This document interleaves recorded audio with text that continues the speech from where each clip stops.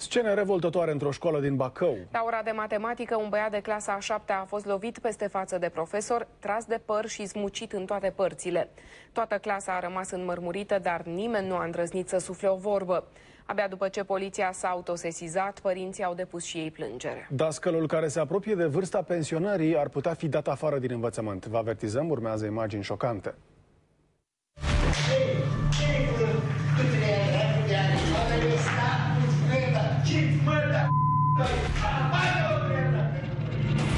Furia profesorului de 65 de ani crește de la o secundă la alta. Mai întâi îl ia de perciun și îi dă două palme. Atât de puternici au fost că s-a auzit până în spatele clasei. Apoi îl trage pe copil de păr și strigă vorbe urâte. Întreaga scenă se petrece ironic sub icoanele aflate pe peretele clasei.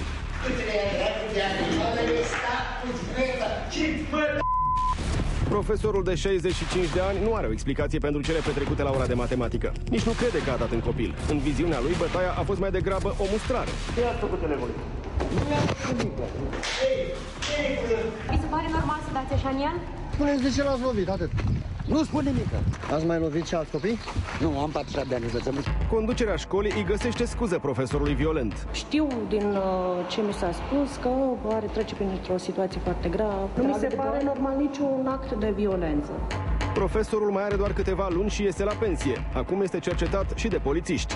Părinții minorului au depus plângere, cadrul didactic respectiv a recunoscut fapta comisă. Polițiștii au întocmit un dosar penal în care efectuează cercetări sub aspectul săvârșirii infracțiunii de loviri sau alte violențe. În urma anchetei, dascălul își poate pierde slujba.